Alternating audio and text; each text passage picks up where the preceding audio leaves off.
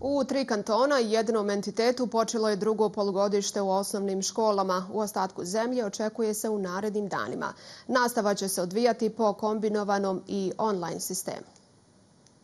U školama u Republici Srpskoj nastava je počela prije pet dana. Svi su u klupama, časovi su skraćeni, a učenici podijeljeni po grupama.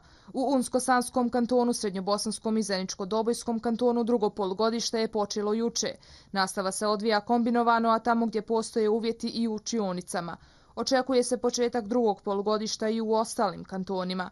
U kantonu Sarajevo nastava počinje za sedam dana. Nastava od prvog do četvrtog razreda će se realizirati prema kombiniranom modelu. Za učenike šestih, sedmih i osmih razreda nastava će se realizirati online, a za učenike devetih razreda nastava će se realizirati u učionicama za sve učenike. Iz udruženja direktora osnovnih škola u kantonu Sarajevo kažu da svakako treba poštovati odluke struke, ali je i nužno što prije vratiti džake u škole. Zaista je intencija da se što prije treba učenici vratiti e, na, evo, u škole i vratiti tradicionalnom modelu, jer zasigurno e, ovaj ili bilo koji od ovih modela, kombinovani, e, i ne znam, potpuna online nastava, ne može sigurno dati efektni rezultat, rezultate nastave i znanja prema učenicima kao što je to bilo prije ove pandemije. Mišljenja roditelja su podijeljena. Dio njih, strahujući od zaraze, ne želi povratak djece u školske klupe, već online ili kombinovani model. U slučaju povratka u klupe,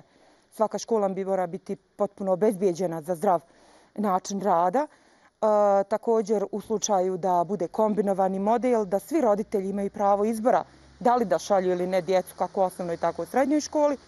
I u slučaju da samo bude online, da online nastava mora biti kvalitetna i mora ponditi dobro obrazovanje našoj djeci. Iz samostalnog sindikata osnovnog obrazovanja tvrde da je najveća kočnica za povratak u klupe krizni štab kantona Sarajevo, ali i nedorečenost prijedloga o izvođenju nastave koristeći takozvani COVID semafor, kojim se prati epidemiološko stanje u populaciji. Sindikat nudi prije svega i predlaže da se zaštiti zdravlje, da se zaštiti nastavni proces, a to je moguće riješiti kroz COVID semafor i to zna ministrica, samo je treba pomoći i dati podršku podršku da se to realizira. Iz resornog ministarstva su poručili da pažljivo prate situaciju izazvanu infekcijom COVID-19 radi eventualnog donošenja novih mjera i preporuka.